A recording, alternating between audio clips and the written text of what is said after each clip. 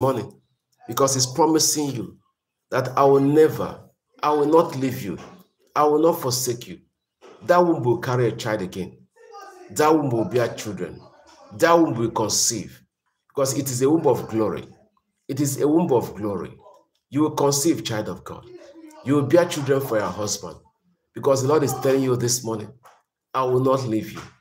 I will not forsake you. Because yesterday again, someone was praying. The Spirit of God was praying. He gave me a particular verse in the Bible. Psalm 55, verse 5. Psalm 55, verse 5. That was yesterday night. He said, Fear and trembling come upon me. Horror overwhelms me.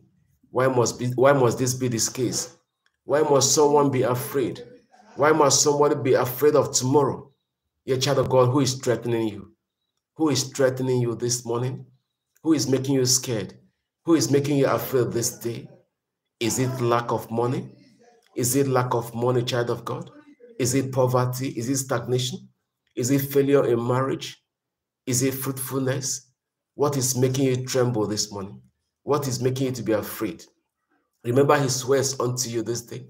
In Isaiah 41, he said, Fear not, I will help you. Fear not, I will help you. And this morning he's confirming it by telling you, I will not leave you. I will forsake you.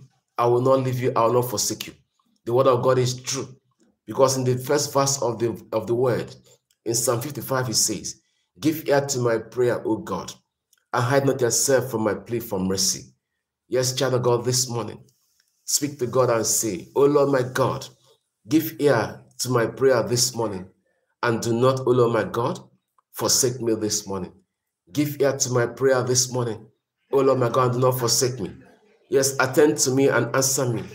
I am restless in my complaints and I mourn because of the noise of the enemy, because of the oppression of the wicked. You're child of God, who is oppressing you, who is making you afraid, who has made you sad all this while. Is it conception? Is it lack of babies? Is it lack of money? Is it poverty? What is making you sad? What is making you think that God is not there? What is making you to feel that what God is telling you this morning, He will not do for you?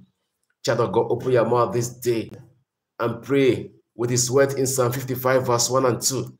He said, Give ear to my prayers, O God. Give ear to my prayers, O God, and hide not yourself from my plea for mercy. O Lord my God, this morning, give ear, O Lord my God, to the cries of your children this morning. Everyone that has gathered for prayer this morning, O Lord my God, Give ear this day to their cries. Give ear this morning to their prayers. Grant them their heart desires, oh God, I pray, in the mighty name of Jesus. Yes, my Lord. The voice said again, the word said in verse 2 Attend to me and answer me, O God. Attend to us this morning and answer me. I am restless in my complaint, and I mourn and cry because of the noise of the enemy, because of the oppression of the wicked. For they drop trouble upon me, and in anger they bear a grudge against me. My heart is in anguish within me. The terrors of death have fallen upon me. Fear and tremble come upon me, and horror overwhelms me. Child of God, no matter what, the Lord is saying unto you, open your mouth this morning and pray. Oh Lord, my God, answer me today. Oh Lord, my God, answer me this morning. As your voice is going on, as your words are going on this morning. Oh Lord, my God, be attentive to my cry this morning and answer me. Make it a prayer this morning, child of God. Make it a prayer this morning and say, Oh Lord, my God, be attentive to my cry this day and answer me. You that answered Jabez, answer me this morning. You that answered Jabez, answer this morning. Jabez was honorable. Jabez was honorable, but still he was living in sadness. Jabez was honorable, but still he was living in pain. Jabez was honorable, still he was living in shame. But the day came that God said, Enough is enough.